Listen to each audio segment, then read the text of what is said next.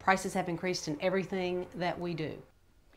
Inflation is being seen as a major issue in many industries, but what is what is it doing to child care services? The Alabama Department of Human Services reports child care facility costs rose 17% following the pandemic.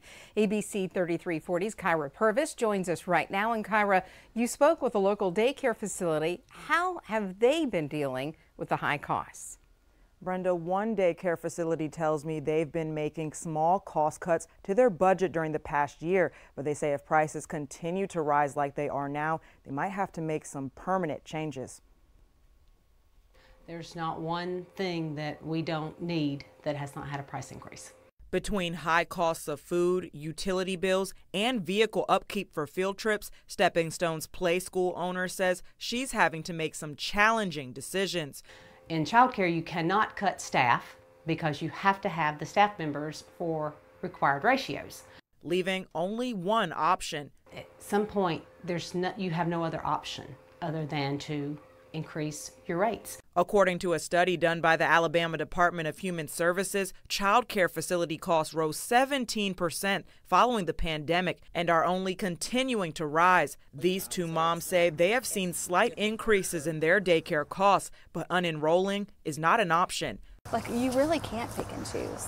Um, so, as far as daycare schedule goes, no, because if they don't go, you're still paying for it. With other price cuts having to be made daily, this mother says daycare is a necessity because it makes her child happy and her family feel secure. She's been going since she was uh, one years old and has gone ever since, and we absolutely love it. But it's, you know, you just have to learn how to adapt and work work around it to make it work for your situation. Others feeling completely different. One mom who did not want to be on camera tells me she is now relying on family for childcare after her daycare costs rose $50. Hall says she has sat down with a number of parents with the same concerns. She tells them all the same thing. We will have an end to this at some point.